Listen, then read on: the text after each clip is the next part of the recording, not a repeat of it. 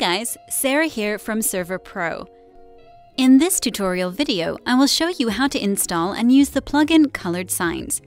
This plugin allows you to create fancy signs with colored text on them. Navigate over to the control panel of your server. Make sure you're running Spigot or Bukkit already because this is required. Next, navigate over to the Plugins tab and then search for the plugin Colored Signs. Now click Install Latest to install the plugin. Now restart the server to load the plugin.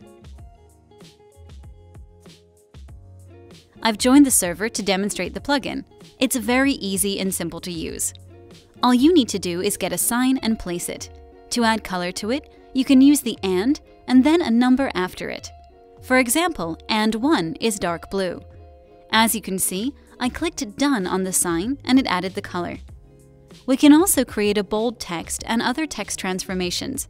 In this example, I will be creating a bold italic text on a sign.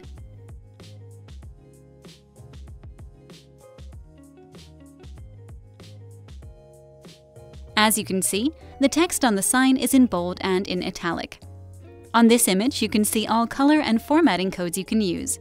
You can also find this image in the description.